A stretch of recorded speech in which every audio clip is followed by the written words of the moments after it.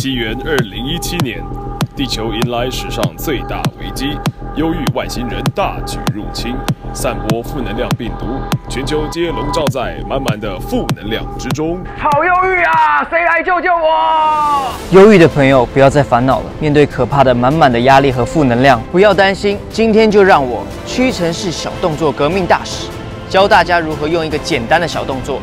就能轻松击退忧郁病毒。为了击退忧郁的外星人，屈臣氏在网络上发起了小动作革命征选，许多网友非常的踊跃，提供了很多 get active 的小动作。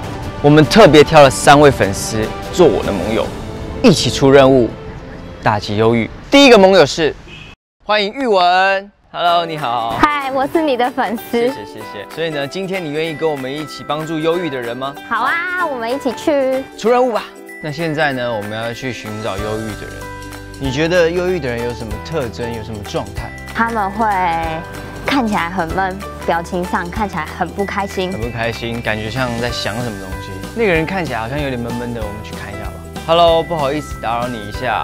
我们今天有一个小任务，因为我们刚刚在外面看到你，好像一个人在这边沉思，有点心情不好，感觉在烦恼什么事情。你可以跟我们分享一下吗？工作上的问题。那我们今天有一个小任务，就是要让你开心起来。